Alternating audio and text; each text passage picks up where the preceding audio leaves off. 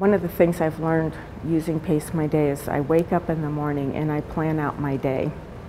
using it and being able to look at what I go in and I look at the calendar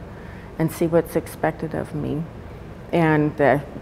appointments that I can't get out of. And then when I go in and put in what I want to do, the list, I have a list of things, another list of things I need to do, and I put them in to Pace My Day, and I can look at that and evaluate whether or not I can do everything. And there have been times where I will have to say, you know what, I have to give up this activity or that activity or postpone that activity. And that is helpful that it's, it helps me kind of evaluate my day before I even start. And I have learn to evaluate my day in the middle and at the end of the day to see whether or not I can